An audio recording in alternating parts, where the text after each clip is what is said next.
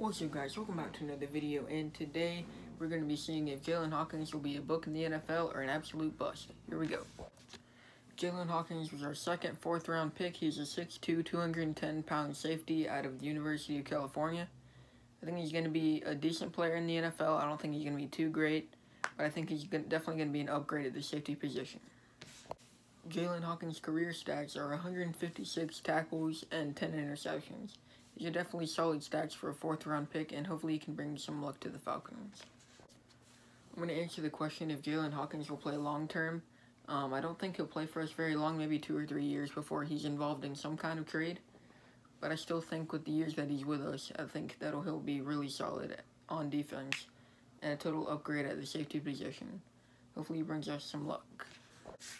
I don't think Jaylinn Hawkins will be a bust in the NFL. I think he'll be a pretty solid player overall he's definitely uh, upgraded the safety position, and he's a solid fourth round pickup. And I think he'll be really good for the Falcons at the time that he's with us.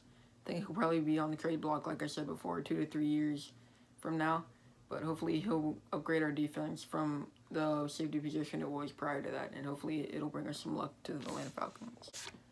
Thanks for watching, guys. Hope you enjoyed. Remember to like, comment, and subscribe.